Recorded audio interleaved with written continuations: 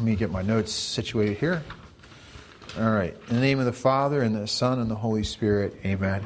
Let's turn to Our Lady and ask her to intercede as together we pray Hail Mary, full of grace, the Lord is with thee. Blessed art thou amongst women, and blessed is the fruit of thy womb, Jesus. Holy Mary, Mother of God, pray for us sinners, now and at the hour of our death. Amen. St. John the Evangelist, pray. In the name of the Father, and the Son, and the Holy Spirit. Amen. Okay, so let's open our Bibles to Revelation chapter 6, and let's go to verse 9, where I think we touched upon it. But remember, I was, I was saying we were just kind of burned out, and we're like, let's just stop here because it was a good stopping point. We'll finish. There's two more seals, and then there's a pause. And then uh, we don't have the seventh seal opened until there's two visions that John has of heaven. And so it's kind of like a sort of like, you know, pause, we'll get back to it next week, like you're watching, uh, you know, sort of a series. And um, so let's go to verse 9. And it says, When he broke open the fifth seal, I saw underneath the altar the souls of those who had been slaughtered because of the witness they bore to the word of God. They cried out in a loud voice, How long will it be, holy and true master, before you sit in judgment and avenge our blood on the inhabitants of the earth? Each of them was given a white robe, as they were told to be patient a little longer until the number was filled of their fellow servants and brothers who were going to be killed as they had been.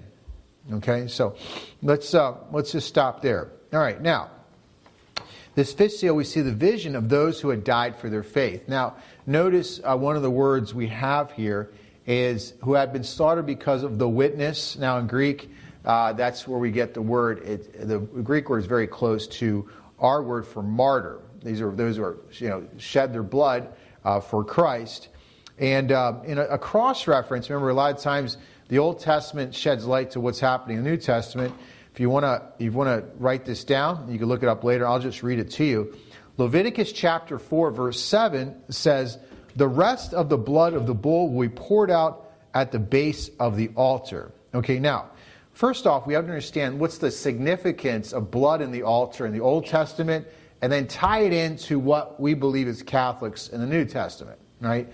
So, um, when animals were, remember we talked about last time the two sacrifices in the, the daily, what was the word for the daily sacrifice? The tamid sacrifice. Remember this? Is that ringing a bell? It's only been a week, right? So the tamid, T A M I D, sacrifice in the morning and then in the evening there were, there were lambs sacrificed, right? Do you remember what time the second lamb was sacrificed? Three. Three, right? And we see that our Lord would be, and, it would, and, the, and they would, remember, they would tie, they would basically tie the lamb up so people could watch the little lamb that's about to be sacrificed, and it would be on, on, on display for how long? Three hours. Okay. Coincidence or providence, right? And then Jesus Christ would be, you know, suspended from wood and then sacrificed, and his blood would be shed for us. Um, now, in, the, in, the, in, this, in these ritual sacrifices in the Old, Old Testament, or we all say the Old Covenant, right? It's another way of saying that. The victim's blood was poured at the base of the altar. So they would take the blood of the animal and they would pour it. They would just, I mean, it was a bloody thing. They would pour blood at the base of the altar and the two corners of the altar. So it wasn't just like they sacrificed, but there was a, this big significance of spreading the blood around the altar as an oblation for the sins of the people, right? And um, so the image here is now what we're seeing here is there a Jewish person would understand. Wait a minute, these are sacri- like the blood of the sacrificed animals will go by the altar, but for Christians, what we realize is that what the vision showed is this is the blood of the of the Christians that died uh, for Jesus Christ, and we call them martyrs. And um, the lamb, and so here it's the image of the blood of the slaughtered martyrs, like the blood of the slaughtered lamb, is received by God as a sacrifice and will move him to intervene to bless and save his people. Now, the, the blood of the martyrs are going to scream out, like, we shed our blood for you, Jesus. We want you to, you know, take care of the people that killed us. I mean, in other words, there is, they're asking for vengeance. I mean, it, this is a little, this is difficult to read, but like he basically saying that the martyrs are crying out from heaven, saying, "We sacrificed our life for you, and we patiently endured the suffering, but we know that you'll take care of those who killed us." right? You mess with the wrong guy.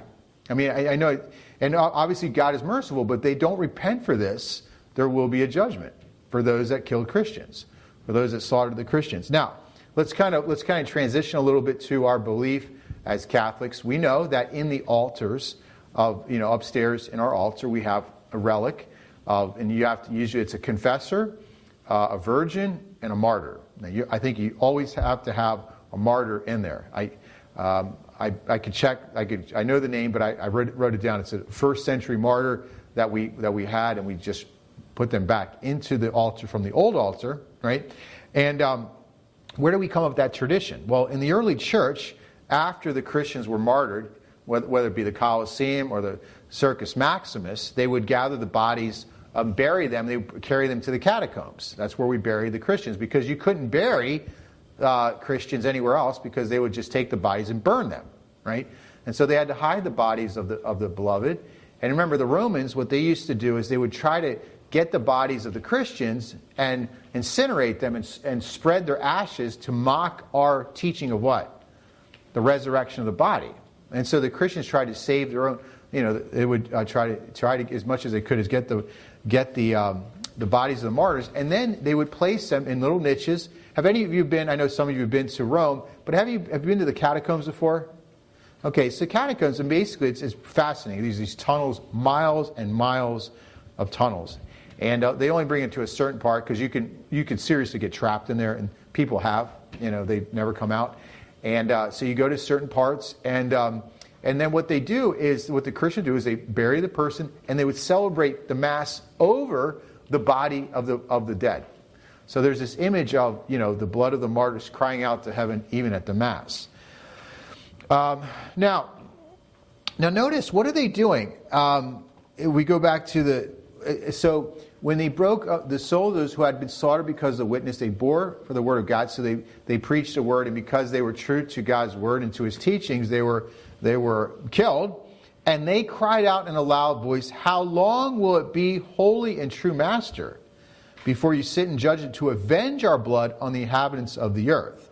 Now, um, this, this mimics something that happened in the book of Genesis, the first murder, right? In Genesis chapter 4, verse 10 you know, um, God says to, to Cain, he says, what? He says, Your blood cries out to me from the ground. Right? So, God, after the first murder, he says, Your blood cries out to me in the ground. And, and, um, and so basically, what this is, what this uh, passage is showing us is that in the Mass, which is, you know, a foretaste of heaven, but also we're, it's a it's sort of uh, a foretaste of heaven, but what you experience on earth is the intercession of the saints that are intensely interested in our protection, right? And they're also asking for God to make things right, to bring his justice to the earth. And so the saints are, are praying are praying for us, and, and every Mass we're united to the martyrs in heaven and all the saints. St. Thomas Aquinas writes This prayer of the martyrs is nothing other than their desire to obtain resurrection of the body and to share in the inheritance of those who will be saved in the recognition of God's justice in punishing evildoers right? So we also we believe that God is merciful, but He's also what? He's also just. And the saints are praying that God set it right, get rid of evil.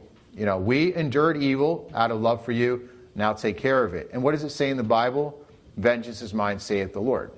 Okay? So a lot of times, I mean, it's, it's very consoling that if we're getting beaten up for doing the right thing, is that, our, you know, victory will, will be ours essentially. Right? There's this, it's, that's a promise of God. For those who who get kicked for being for Christ, that, there are, that their day is coming. Now, the Lord tells them what is, what is the response to these, these saints crying out?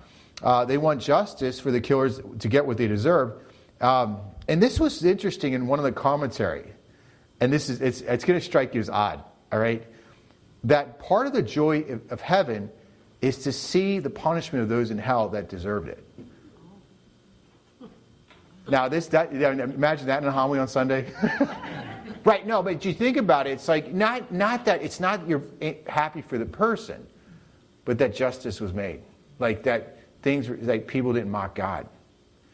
I mean, it's, it's, it's, just strange. It's like, you ever think, I mean, that's like, not, not like Schadenfreude, but I, I read them, like, I had to read like three times. That some theologians say the part of the joy of heaven is knowing that everyone got what they deserved. You got what you deserve, and they got what they deserve. I mean, that's, I mean, right now, I mean, in the sense that we, mercy is, is getting what we don't deserve, but justice is getting what we deserve. And um, so, I mean, you have to, you have to think about that. I mean, I, I mean, it's, it's, it doesn't sound very Catholic, and we're always, we always emphasize what, you know, everyone's going to go to heaven, blah, blah, blah, you know. But if you read the book of, of Revelation, it's a little bit different. You know, we've got the martyrs are, are, say, look, you know, and they knew, I mean, they prayed for those who killed them. They don't want them to, but those who do, they, it's not so much for what happened to them, for what they do to Christ. Right? And how they mock Christ and Jesus Christ. Like, that's my king. Right? There's a, there's a really powerful image there. Um, all right, so how does Jesus respond? Well, he says, okay, great. He goes, he gives them a white robe. We've already talked about that numerous times. What's the right white robe? Well, it's a symbol of our, our baptismal innocence, the thing we receive at baptism, but, um, but also in the Roman times that the, vic, the victor of a battle, uh, you know, rolled into a chariot wearing what? A white robe. It was a sign of victory. So you have your, your victory robe. And then he says, be patient. And, and what he means here is that there are many more martyrs that will die first, that have to die first for the, for the sake of the Lamb. And then, uh, and then God will punish those who do not repent at the end. Interestingly enough, I think in the in the last hundred years, more people. I, I I don't know where I read this, and I don't know if it's true, but I'd have to double check it. But I read somewhere that more people have died from the faith in the last hundred years than all the rest of church history combined. Which is because you always think that what it was the first century. That's when a majority of, of martyrs happened. I don't think that's true. You know, I mean, you take Auschwitz and you take some of these other things. I just finished a book, He Leadeth Me, about priests in Siberia. He was lucky. You know, he got out. A lot of those guys were smoked, you know. And um, I, they're, they're, you don't hear the stories of the martyrs anymore because we live in a very sanitized, you know, everybody, you know, it's freedom of religion, all this other stuff. But there are parts of the world where people are seriously persecuted for their faith, right? And we heard a couple years ago in France, I mean, that priest got, you know, killed in his, his own cathedral. You know, these things happen. But I think it's much more than we see because the newspaper's not going to talk about that, right? Uh, talk about everything else, but not that, right? All right, so so this is this is kind of a setup um, to the sixth seal. So the fifth seal is is the this the image of of God, you know, basically this uh, be uh, avenging for the martyrs and interceding for them, and also the saints interceding for us. And then you have the sixth seal, and the the title here it says terror, and let's let's go to, let's go to the text. All right, so we have. Um, okay, one hold on a second. Then I. Okay, verse twelve, right? Okay, here we go. Let's read it. Um, well, let's wait. Let's finish verse eleven. Each of them was given a white robe, and they were told to be patient a little while longer until the number was filled. What does that mean? Those that haven't died yet, that are supposed to die for me. We, there's much more, much more martyrs to happen and their fellow servants and brothers are, who are going to be killed as they had been. So he basically, nope, there's more people that have to shed their blood for me first, and then I'm going to make it happen. Okay? Um, it's a mystery. Why does, why does God permit this? You know, for his glory, but that's what it is. Uh, verse 12 Then I watched while he broke open the sixth seal, and there was a great earthquake. The sun turned as black as dark sackcloth and the whole moon became like blood. The stars in the sky fell to the earth like unripe figs shaken loose from the tree in a strong wind. Then the sky was divided like a torn scroll curling up, and every mountain and island was moved from its place. The kings of the earth, the nobles, the military officers, the rich, the powerful, and every slave and free person hid themselves in caves and among mountain crags. They cried out to the mountains and to the rocks, Fall on us and hide us from the face of the one who sits on the throne and from the wrath of the Lamb, because the great day of their wrath has come, and who can withstand it? All right, now, first off, I want you to look at that text. And can you count how many parts of creation are there? Just take a moment and look at that text and what's being affected, affected here. And so he breaks the, we see the breaking open of the sixth seal, and we see number one, the earth is affected, right? All right, because we have the great earthquake. Then we see the sun. When the sun turns black, there's an eclipse. The moon, the stars, the sky, mountains, islands, and humankind.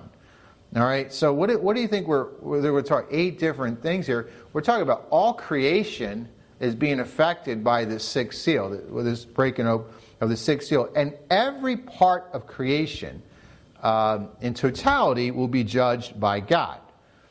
All right? And um,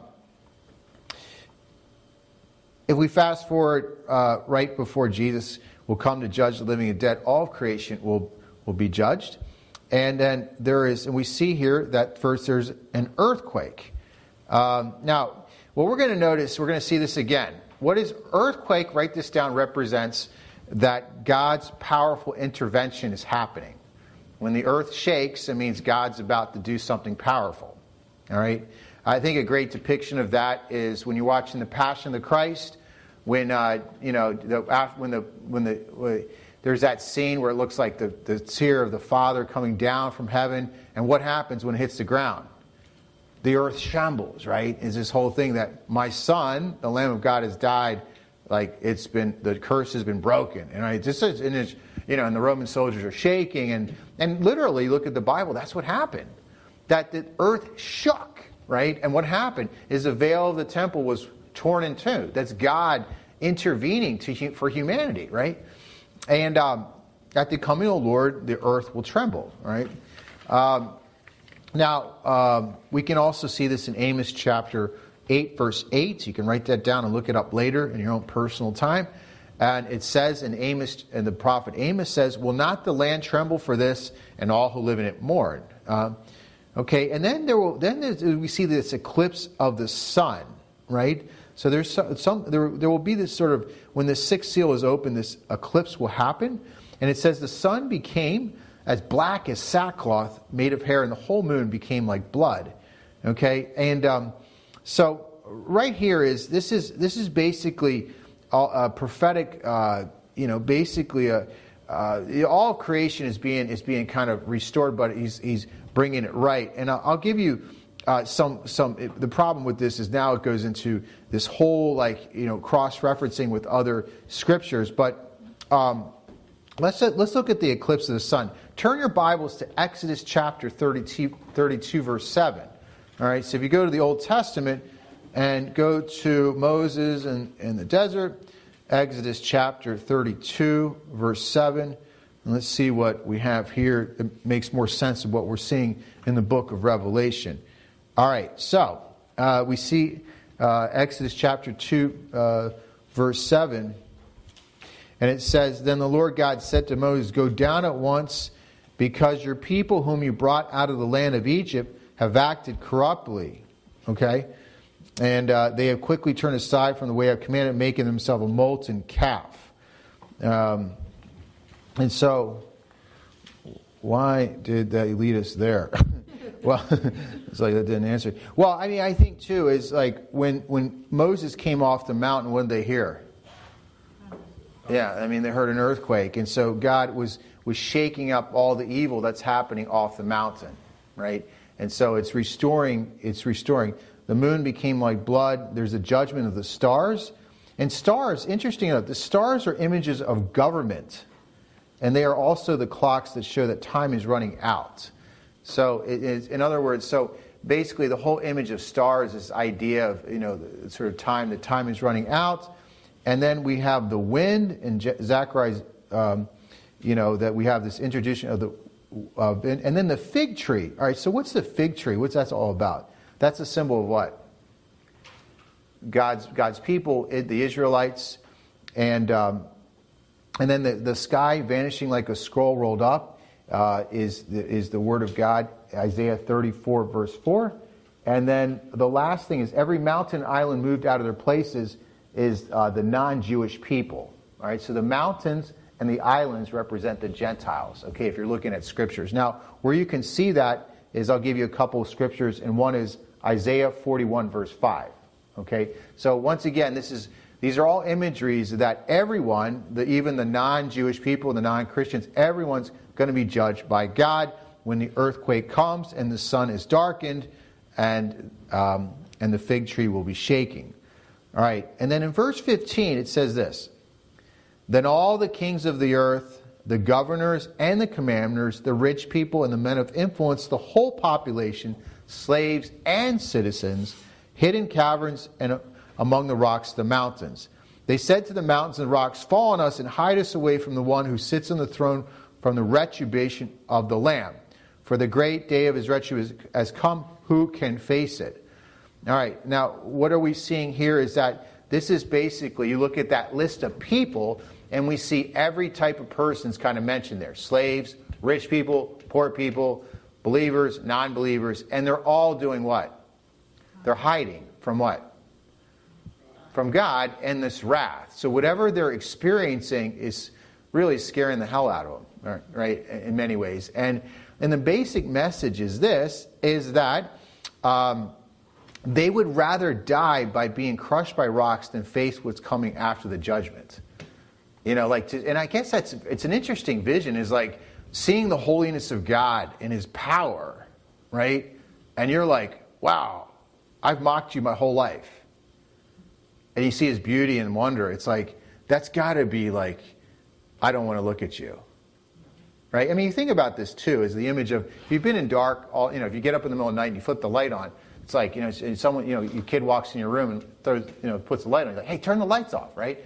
Because you're just not using. Imagine if, like, you know, all of a sudden you see God all powerful, all holy right in front of you. You're going to hide and say, I'd rather have rocks fall on me than have to deal with this Almighty God, this powerful God. All right, so um, it's interesting here is that. Um, you know, I think one, one thing we have to look at is let's look, let's look at the catechism for a second. You know, because we're looking at is this is all this is all a prelude to what the last what last judgment when Jesus comes to judge the living dead. The, the key the key paragraph in the catechism, if you want to look at it and, and sort of know the Catholic view of the last judgment, it's 1040, 1040. And uh, I'll read it. I'll read it slowly. We can op- open up a little bit here. It says. The last judgment will come when Christ returns in glory. Only the Father knows the day and the hour. Only He determines the moment of His coming, and through, then through His Son, Jesus Christ, He will pronounce the final word on all history. We shall know the ultimate meaning of the whole work of creation and the entire economy of salvation, understand the marvelous ways by which His providence led everything towards its final end.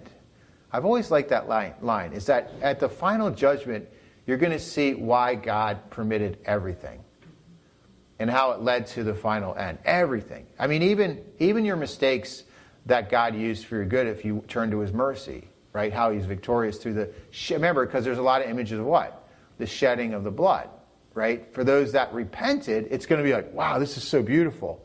Like God permitted that evil, but God made such good out of it. But for those that, re, that reject this, um, this, this beautiful message of mercy, uh, it's, it, there, it's, you know. And so, but anyway, the last judgment will reveal God's justice, how God's justice triumphs over all the injustices committed by his creatures, and that God's love is stronger than death. Right? So, like that, that, that um, cry of the martyrs saying, How long will it be? They're going to see, like, wow, now I know why that happened to me and how God, you made good out of it. And then those that have rejected God, like, oh my gosh, if I just listened to my mom, you know, I mean, just like, you know, I mean, it would have been great. You know, it's just this whole thing is like, why, why was I so dumb, right? Why didn't I just listen to God, right? This is going to be this huge awakening. And we talk about the woke culture. There's going to be a definite woke culture at the end, but it's going to be much more intense than what's going on today in society. Um, and I think the final thing, too, is that this whole message in this section of chapter 6 is it can be paraphrased in the Catechism in number 1041. You know, why do we read sections like this in the Bible? Well, it, it, says this the message of last judgment calls men to conversion while God has still given them an acceptable time. Right? Like, you know, this, this stuff's happening, but, we, you know, just, just take advantage of what God's given you the, the day of salvation. Okay, any questions on that? Chapter 6? All right, great. All right, chapter 7. Now, what happens here is you got to stop here. We kind of, in, in the Bible, we take a commercial break because how many seals are there? Seven. Seven. Now, you're going to notice, like, there's gonna, before like pinnacle moments, like God gives John a vision. And so now it's like, you know, you're thinking, like, okay, the six was pretty intense. What's the seventh vision going to be? Right? The seventh, the seventh breaking seal, which is going to be another seven trumpets. So it's like, oh, here we go. For, for, for me, that's like, oh, that's a lot of work, you know? I thought we could just have a quick vision and move on to the next thing. But the seventh seal, when that's opened up, we're going to have the seven blowing of the trumpets, and seven things will happen before God comes, right? So a lot of sevens, right? But he's going to have a, a, vision of heaven. Now, turn to your turn to your Bibles to uh, chapter seven of Revelation, and just out of uh, let's just take a look at how I like uh, how they um, title it because sometimes it gives you a, a sense of uh, what we're talking about. What's the title there in bold? The 144,000 sealed. So what are we going to focus on? No, not seven. The 144,000. yeah. So yeah, a lot of times I mean, yeah, seven do, but like I think a lot of times when you see this, you know, when you're looking at the bold, that's kind of like the main topic, right? So we're gonna, he's gonna see this vision of 144,000. All right. So let's stop here, take a breath, and let's let's look at let's read uh, let's read from uh, verse one uh, to verse seven, uh, verse, verse eight. we could do seven, you know, but let's do verse eight. Okay. All right. Here we go. After this, I saw, um, I saw four angels standing at the four corners of the earth. All right, stop. You know what that means already, right? The four angels is like the four parts of the earth. We already talked about the four creatures, right? What type of angels were they? Come on, come on, you're killing me. What, what are they? Second type of angels. Cherubim, thank you. Okay, almost had a heart attack, right? Seraphim, cherubim, right? We're going to talk about archangels in a bit. But remember, top or seraphim, what's the second type? Cherubim, good. So, he, has this, he sees four angels, most likely. What? Cherubim, we've already discussed this. All right, standing at the four corners of the earth, holding back the four winds of the earth. No, that's key. They're holding back the four winds of the earth. Okay, what's that all about? Uh, so that no wind can blow on the land or sea or against any tree. Then I saw another angel come up from the east, holding the seal of the living God. All right, that's going to be key. The seal. What's the seal? Of the living God. All right, because you need the seal.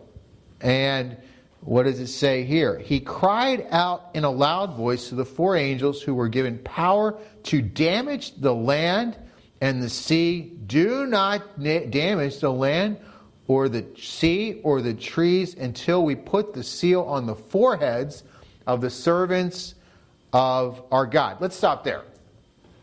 All right, because we haven't got to 144,000. We got to talk about wait a minute, what's he saying here?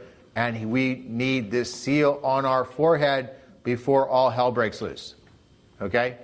And don't worry, I think everyone in this room has been sealed. I want you to think about that. Everyone in this room, I would suspect, has got the seal. Okay, so uh, okay, so in this, there's a so there. This is these are this vision is depicts what's going to happen to God's people before and after the big trial. Okay, whatever the big trial is, right? The big tribulation is what it's called. There will be the great trial it's one of this. It's, it's been. It's it's in the Catechism that there will be the trial of all trials that will affect everyone. If we're alive at the moment, it will affect all of humanity, Christians included. We don't get. We're not raptured out of it like people. You know, like there's that the whole Protestant thing where the elect are like sucked out of the earth and then they're put back on the earth. Nope, we'll be in there. But if we're sealed, we're going to be protected and we'll persevere. Doesn't mean we won't suffer, but we'll come out what? Okay at the other end. Is everyone happy about that? yeah, great. yeah. I mean, it's like, because we're like, wait a minute, I mean, we don't want to suffer, but once again, he kind of, he's kind of saying no, but we're given some help. Now, uh, let's, let's look at this. So now we need to decode this imagery. All right. Now, we, the four corners is represents, write this down again if you don't remember, the whole world. Anytime you see four corners, it represents the whole world. So Jesus is going to come, and he had four angels at each spot. You know, it's, all, it's all covered, the four corners of the world. And the wind, remember the wind? The wind represents the coming of Jesus either with cursings or blessings. Not just with blessings, but also what? Curses. So that's also that's also what? Symbolic of his mercy and judgment. Right? So the winds, once they once he lets the wind once the windstorm comes, it's going to be a curse for those that are not sealed, and for those that are that are sealed, it will be a sort of mysterious blessing. Are you with me? Okay. Uh, you will not need fans in your bedrooms when the wind comes. Okay. The trees, now this is interesting. The trees, because we'll see this again later, are representative of human beings. Okay, biblically, when you see trees mentioned in Scripture, Old Testament, many times they're representative of human beings. Okay, so we're decoding the imagery here that comes from us from the Old Testament and from. Uh, okay, now, now there's another angel, and his job. Oh, there's got the four angels holding back the wind, and then there's another angel that, that pops in, and what's his job? To deliver a message uh, and protect those that are sealed by God. Okay? Now, once again, we see in this, these lines of Scripture, before harm is inflicted and judgment comes, God's servants must be marked with a seal. Okay? He says, Do not damage the land or the sea or the trees. What are the trees? The humans, right? Until we have put the seal on the foreheads of the servants of our God. Okay? Now, have you ever seen the movie Gladiator? Right? Good movie? Good. All right. Uh, it's great. So there's this uh, Maximus, he's he, on his shoulder, he's got this, the emblem of, of Caesar. And, and most soldiers, when they, you know, uh, when you became a soldier, they would take a brand and they would, you know, it's kind of like your whole, and they would just burn a scar. Like they do that in some fraternities, unfortunately, too. They do, they do this still today. They'll brand you in certain uh, types of, yeah, and they and the brand. But you're marked. And you also do that to what? To cattle, to horses. You brand them. And what does that mean? Uh, so it's a seal of ownership that whoever you're sealed by owns you. All right, it's a, it's a mark of ownership. Uh, but it also indicates the owner's right to protect, to protect that, that particular whatever it is. Okay, so Caesar, you belong to Caesar. That's his property. If you mess with Maximus, you're in trouble because he's Caesar's property, right? And if it's if, if I if I brand my horse and you break my horse's leg, you know, there's there's problems with that because I, I have to protect. I also have the, the duty to protect that horse because it's mine. It's branded, right? And us who have been sealed by Christ are protected in some way from this tribulation that's coming. Are you with me? Okay, now um, let's look at let's look let's look at this. Uh, there's an interesting uh, the prophet Ezekiel, and I darn it, why didn't I write this down? Which one it is? Maybe you can look it up, Google it.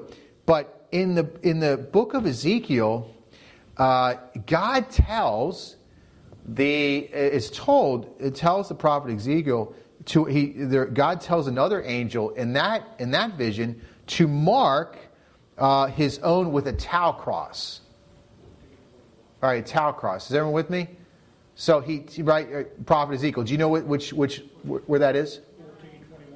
Ezekiel fourteen twenty one. Oh, is that in the cross references? Very good. All right, everyone, open your Bibles to Ezekiel fourteen verse twenty one. Thank you, Michael. Ezekiel fourteen twenty one. All right, now this is important. I want you to kind of, I want you to figure this out. Let's let's try to decode this a little bit because a lot of times, in order to decode the New Testament, you got to look at the unity of Scripture and what does it say in the Old Testament. And did anybody get there before me? Ezekiel, here we go. What is it again? 14? 21. Let's let's take a look at this real quick. All right, I am there and verse 21. Thus says the Lord God, even though I send against Jerusalem my four evil punishments. Notice, what do we see in the book of Revelation? The four winds, right, which is cursing and blessings. In this vision in Ezekiel, he's got four punishments the sword, famine, wild beasts, and plague to cut off from it human being and beast alike. There will be some survivals in it who will bring out sons and daughters. When they come out to you, you see their ways and their deeds, you shall be consoled. Uh, Where's the tau cross? All right, anyway. Wait, Ezekiel 9 4? Oh, that's it. Okay. All right, Michael Nowhere. That was a good one, too, because we got four plagues. Joey, what was that? 9. 9 4. Everyone turn to 9 4. If you're watching this video, I was wrong. Ezekiel 9 4. Okay. You're like, this one's terrible. Okay. Uh, yes, here we go. We see there with the, the, the X here, right? So, uh, 9 4. And it says, And he called to the man dressed in linen with the scribe's case at his waist, and the Lord said to him, Pass through the city, through the midst of Jerusalem, and mark an X. The X is a tau cross on the foreheads of those who grieve and lament over the abomination practiced within it. All right, now, tau cross. Some biblical scholars believe that Jesus was actually crucified on a tau cross. Okay, it was like a, a T, but it also represents an X. So, but but let's let's stop for a moment. When were we anointed with a tau cross? Confirmation. Oh. Right? What's what does the bishop do? He takes chrism oil and he marks what? The cross on your forehead. All right, now this this this did not come from my commentaries. This came from Father Larry Swing. Okay, so you can quote me later, but like you know, maybe I'll be a father of the church. I doubt it. But like I thought this. I mean, wait a minute. Now they, they do mention they do mention they do mention the sacraments with like baptism because in three of the sacraments you get an indelible mark. Now that also could be the the mark of the soul, right? And when do you get an indelible mark? Baptism, confirmation, and what's the third? You None of you got it, but I got it. Holy orders. Three indelible marks. How many here are confirmed? Okay, very good. I was going to sign you up for RCA. Becky, I know you're confirmed. Raise that hand. Okay, good. All right. So you have so we have the, the tau cross. All right. So now, why is why is this important? Um, well, because in each of these sacraments we receive this mark, the tau cross on our forehead. Well, mar- our souls are marked, and also uh, many, many times this is also an image. The Tau cross was marked, the soldiers were also marked with an image. So there's, there's an image of those that have to fight, but they're also protected by their owner, which is God. Okay? And, um, and since it's on the form of the cross, I would have to say that this is, points to the chrism oil by the bishop who signs the cross on our foreheads. And what is the purpose of confirmation? It gives us the grace to, to, be, to have fortitude and to defend our faith with word and deed, especially when we encounter what? Difficulties, right? Uh, I, I can't remember where, where I read this, but I there was I can't remember. I think it was Saint Vincent Ferrer. If you ever want to like not sleep, read Saint Vincent Ferrer's homilies. Okay, he's just like him, and um, there's a couple others like Saint. Uh, another one is like that is oh Saint Alphonse Liguori. Like anytime I get Liguori, I read St. Alphonse Liguori, I'm like, I'm just like, oh my gosh, like my prayer life's on target for like three days. And he's just, because he's so, those two are just on fire. And St. Vincent Ferrer made a comment, and I read it somewhere. He said that he was commenting on the book of Revelation and said only, we haven't got there yet, but only those that are confirmed will be able to survive the deception of the Antichrist. That's cool, isn't it?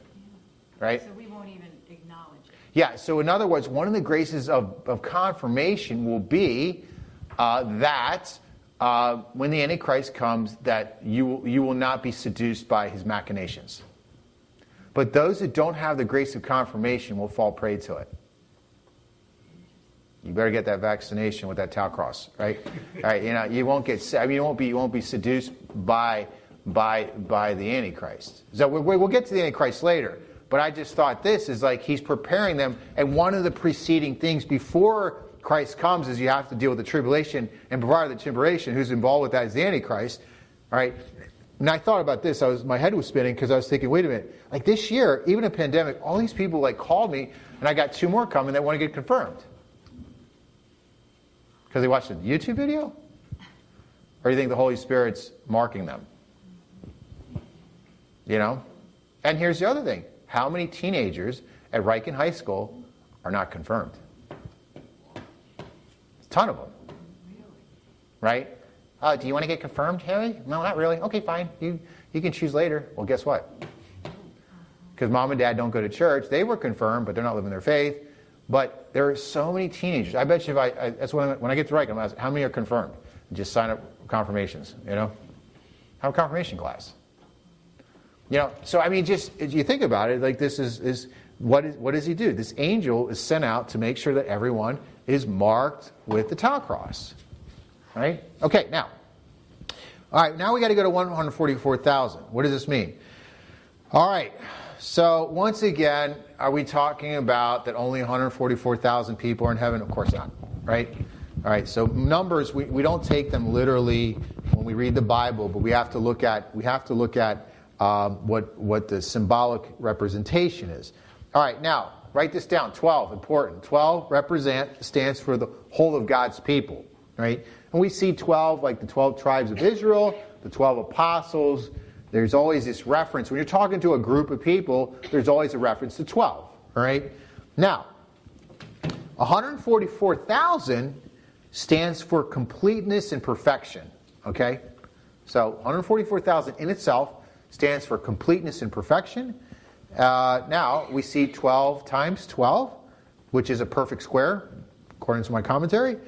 And it's also considered more inclusive and complete if you multiply it by a 1,000. So there's mathematical stuff going. So 12 times 12, two complete numbers. Perfect square times a 1,000 means like this complete number. So, what it means is the whole of the people of God. So, he saw all the saints, all the church triumphant in heaven, those after the persecution survived. So, this is a vision of later, all right? Those that have made it to heaven. And, um, and so, uh, this actually, this is good news because the, this is a great number. And it means this that the hope is there will be a great number of people that will be saved. Okay, now which gives us hope. you know. Now, also our Lord says, you know, they ask, they ask, well, many say it's few, and many, many will not be. But the good news is, many. There was a great number, 144,000. It's this enormous sort of number. Now, another thing that's interesting is that um, a thousand is also the largest military unit in a Roman army. So we also see, sort of in this number, a significance of God's army or troops, right? So you have, you know, 140 different, uh, thousands of armies that are, you know, that are there, okay? And um, so you can only have up to a thousand men under a single commander. And so this imagery brings forth an interesting truth that uh, as a holy army, the church is called to bear witness, is warfare. Okay? So the other thing we're seeing in this 144,000 is that St. John is make there's a military sort of image here that life on earth is warfare and God himself will fight for his people like he did for the Israelites in the desert uh, in Egypt and also when he defeated the Syrians in the time of Hezekiah. So this is idea that they made it to heaven because they were protected, they were in God's army and God fought for them through the warfare they experienced on earth. Is that cool or not? Right? Well, sort of. Okay? Um, but I think, too, is protection from what? Is it implying that we'll be physically protected? No. The implication here is that this is more of a spiritual protection rather than what? A physical protection right? Because a lot of times, I mean, I, I think, you know, uh, life is just, it can be brutal warfare. And, and we're, we're not necessarily protected from pain and trials. That's just part of life. It's part of the spiritual battle. But we're spiritually protected. Our souls are spiritually protected with this mark that the angel gave us, which we received at what? Confirmation. Okay? Uh, all right. So let's, let's move on. Uh, then he sees another vision. So you understand the 144,000? Completeness, military imagery, life is warfare. We're protected spiritually, not necessarily physically, because most of these people got hacked up. you know, they were martyrs. All right, but but they but it, it ended well, right? All ends well. Okay, not everyone was died a martyr, but a vast majority of this vision did. Okay. After this I looked, and behold, a great multitude which no man could number. Right? Once again, we get this huge number. No man could number. From every nation, from all tribes and peoples and tongues, standing before the throne and before the Lamb. clothed in white robes, with palm branches in their hands, crying out in a loud voice, Salvation belongs to our God who sits upon the throne and to the Lamb. And all the angels stood around the elders and the four living creatures, and they fell on their knees before the throne and worshiped God, saying, Amen. Blessing and glory and wisdom and thanksgiving and honor and power and might be to God our Father, forever, God forever and ever. Amen. Well, what's going on here? Okay. Um, well, the great multitude, once again, are the saints in heaven. Now, we had this image of the 144,000. What do we call these? Are those that survive the tribulation on earth? What do we call the church? The church what? Militant. What do we call them in heaven? The church triumphant, right? So this is image of what we see. Imagery is a palm, you know, what is it? Uh, palm branches, right? And um, I'm having a, uh, just a senior moment. We use palm branch. that's what we use at Ash Wednesday. I mean, uh, Palm Sunday, right? Yeah, yeah. okay, of course. Sorry. Where do I see that image? Yeah, Palm Sunday, idiot. Palm Sunday, right? And like, now remember, what is that? What is that an image of? Did Jesus goes on the donkey, triumphant, right? It's an image of the King coming into Jerusalem, right? And that's also, in, in some ways, when we go to heaven, we'll be carrying what? Palm branches, saying, "Hosanna! Blessed is he who comes in the name of the Lord." Hosanna in the highest, right? It's a triumphant thing. It's like really happy. And then like 15 minutes later, it's really sad during Palm Sunday, right? Because then we go into the Passion. You know, we have to first go to the Passion before we get our palms, right? But we do it the opposite. We get the palms, then we do the Passion. All right, so these are the saints in heaven. There's a church who survived the tribulation. And then it says, notice that no man could number in the Old Testament. God told Abraham that he would be a father of many nations and his progeny would be too many to count. And he'll say in Genesis 15 15, once again, this is sort of in imagery, a lot of times it's going to go back and forth. And when God said, You'll be a father of many nations, and he says, Look at the stars in the sky. But then in, Gen- in Genesis uh, 32 12, he said that those that his people would be as many as the sands in the seashore. You know, like this, if you go to the seashore and you look at the sand, that's quite a bit. All right, now, now, the nice thing about this is the martyrs and these saints, they don't appear gloomy or weary, right? They're not sad. They're very happy, right? They're, they're, experiencing, uh, they're experiencing great joy, the joy of heaven. And we call heaven, right? It's not just a better place. We call it the fulfillment of all joy, right? And, uh, and once again, there, what we have again? The, the white robes. We've already been through this like a gazillion times already. As a sign of victory, the Roman general, if he won a war, celebrated his triumph wearing white. And, um, and it's actually interesting. The palms, you know where we see this also in the Bible? In Maccabees, right? In Maccabees. After they defeat um, Antiochus Epiphanes, right? He was that, that really evil guy that, that d- destroyed their temple and killed all the, you know, killed everybody and wouldn't let them worship. It. And then remember, Judas Maccabeus gets, you know, kind of gets his, he was like William Wallace, and he got a bunch of, you know, ragtag, um, you know, followers, and they just, with a small army, defeated these very powerful Greek armies, right? And after they defeated the armies, they went into the temple carrying what? Palms. Like now we can go back to church, right?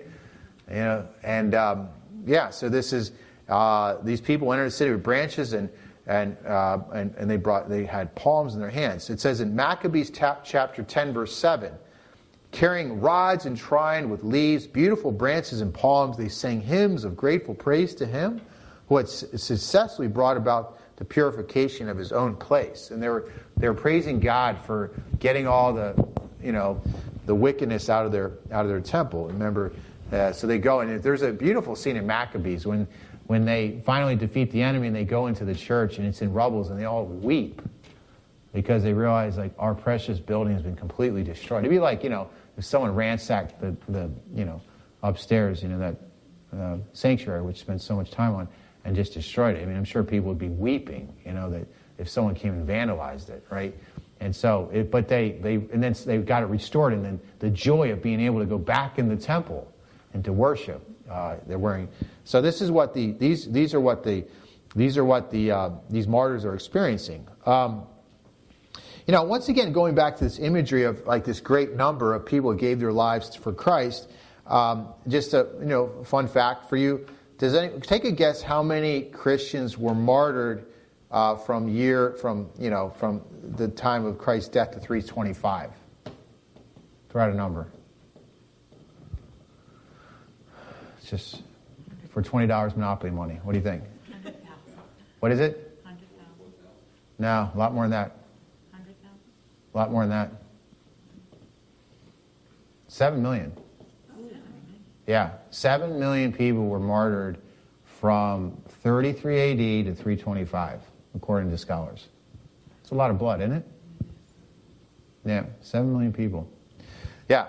So now, if you put that in perspective, if, if, if what I said is true, do the math. A lot of a lot of blood's been shed for the Lamb. Right. Um, now, notice those who gave their lives for Jesus from every nation, every nation, race, people, and tongue. What do we see there very clear that the church is what? Catholic. Why did I say Catholic?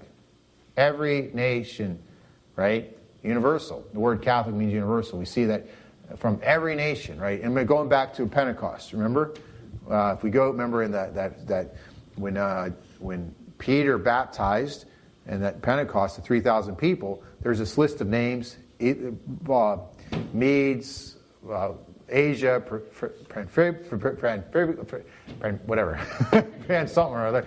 All right, and and it was it's, it's and I always wondered like I remember like you know several years as a priest because I wasn't doing my homework. I was like, what is this? Why do I have to read all these names? And then when I finally did the homework, I'm like, oh my gosh, it was every nation was present, and one person from every part of the world got baptized and went home and brought Catholicism home. So from day one at Pentecost, the birthday of church, every part of the world was Catholic. Pretty neat. Right? And so they see in heaven that there was people from every, na- every nation, race, people, and tongue. All right, and then so what are they crying out? They say, Salvation belongs to our God who sits upon the throne and to the Lamb. And all the angels stood around the elders and the four living creatures, and they fell on their faces before the throne and around the elders and four living creatures, and they fell on their face before the throne and worshiped God, saying, Amen. Blessed and glory and wisdom and thanksgiving, and honor and power and might be to God forever and ever. Amen. What are they doing? They're giving worship to God who saved them. And, uh, and then it says, um, then one of the, one of the elders asked me, these, these in white robes, who are they and where do they come from? I answered, Sir, you know. And he said, These are those who have come out of the great tribulation. They have washed their robes and made them white in the blood of the Lamb. Okay, so he's like, Who are these guys? And these are the martyrs that washed their robes with the blood of the Lamb. Okay. Uh, so there, what we see here is this in Revelation chapter 7, verse 14, is this reference, this first reference to the Great Tribulation. All right, now, um, where do we see this in the Old Testament? All right. Um, well, Daniel chapter 12, verse 1 is, is a, another reference. This is, this is kind of a reference to the vision that uh, the prophet Daniel had.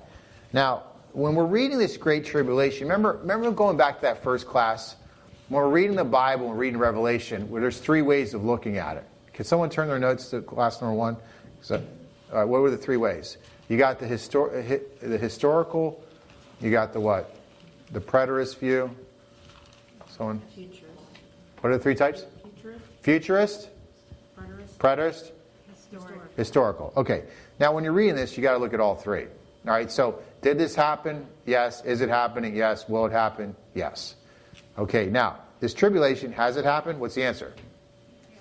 Uh, will it happen? Did it happen? Yeah. So it's all three. All right. So, um, so this is about this tribulation is about people will arise and persecute the faithful because of their loyalty to the covenant. So these are, the tribulation is, is going to be an all-on attack against faithful Catholics, essentially. Okay, so part of the tribulation is those who have a strong faith will be persecuted. All right? And if you're faithful, you're going to be a part of it, whether you like it or not, eventually, if, if, if it is the time. Um, and so, but it also, it could, the, the period, did you know, you know what the period of the tribulation will be? How long it will be? Biblically? Three and a half years. So the tribulation will last three and a half years. Okay, whatever it is. All right, whether it did. Now it's interesting. In Maccabees, guess how long the persecution lasted? Three and a half years. So in the Old Testament, when they got torn up and they're fighting, all the, it, it basically um, the chaotic period in the book of Maccabees was 164 to 168. You do the math, is basically three and a half years. So it did happen. All right. Um, but also, this is a foreshadowing of the great tribulation that will happen prior to the second coming of Christ. So there'll be some kind of three and a half uh, tribulation. All right, so let's go to the catechism. What does the catechism say about the tribulation? Oh man, I wish I brought my other book. I just um, Ralph. All right, so Ralph Martin just came out with a book called "The Church." It's the Church in Crisis. Name book, and he references this in his book, and he basically believes that we're there. Now, Ralph Martin is a little bit of a. He's a little bit of a. Uh, I mean, I, I love I love his talks. He's unbelievable and he talked to a bunch of priests, and it was like it was so funny. It was like totally divided. Either loved him or hated him. I loved him, and some guys hate him, but um, but it just it just what he said made complete sense.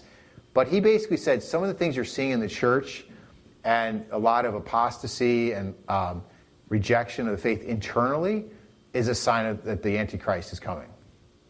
Like he just kind of feels like it's there. It, but, but in 675 I wish I had the actual, maybe it's good I don't have this um, right now because I'll look at it later, but I'll, I'll remind me.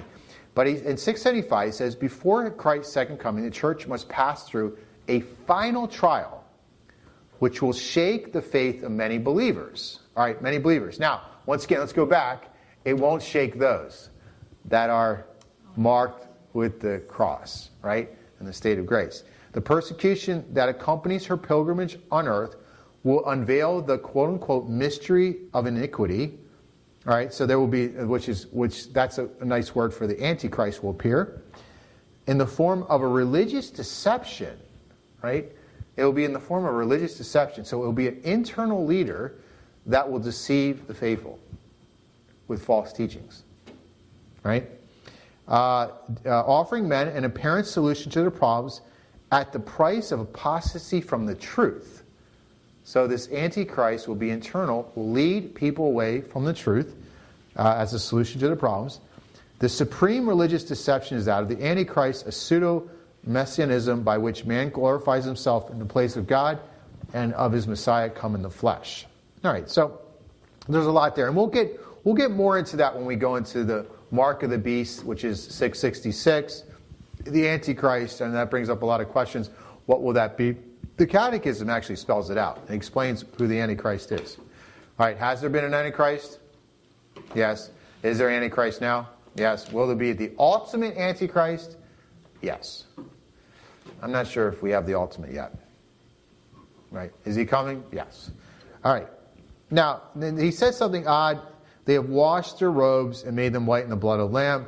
Like, obviously, you know, you don't wash white with blood. But uh, what we're talking about is a spiritual cleansing, all right?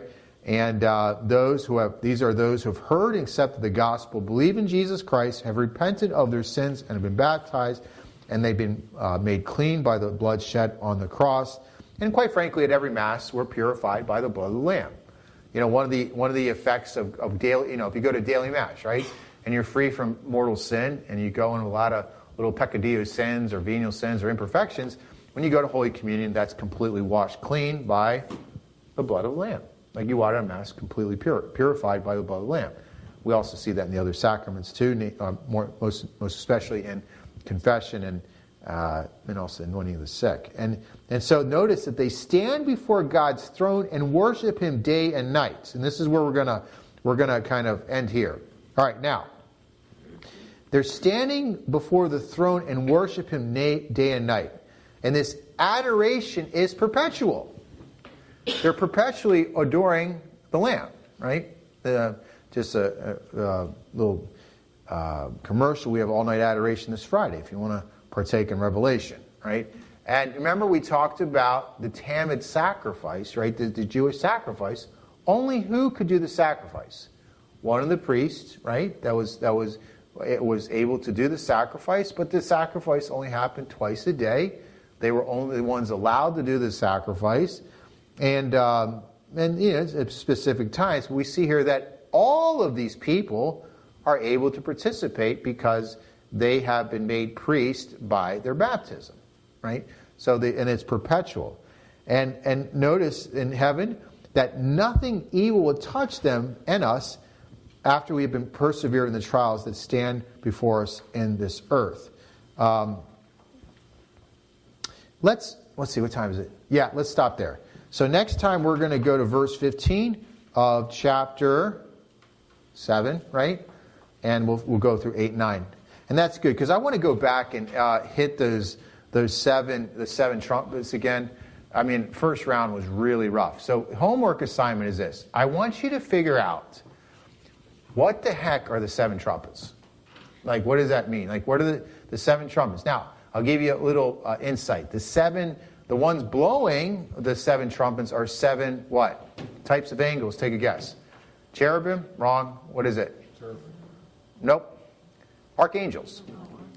So there's, I want you to figure out who are the seven known archangels. We know three from sacred scriptures, another or, or more from uh, other sources. Uh, so there are basically seven known archangels. Figure out their names, and then I want you to figure out, using whatever sources you can, what are the seven trumpets and these these these sort of uh, the winds. Now, once that seventh that seal is broken, the winds are let go.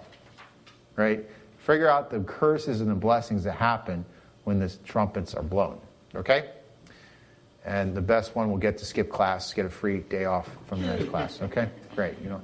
All right, let's say a prayer. In the name of the Father and the Son and the Holy Spirit. Amen. Glory be to the Father and to the Son and to the Holy Spirit, as it was in the beginning, is now, and ever shall be, world without end. Amen. St. John the Evangelist, pray for us. In the, the Father and the Son and the Holy Spirit. Amen.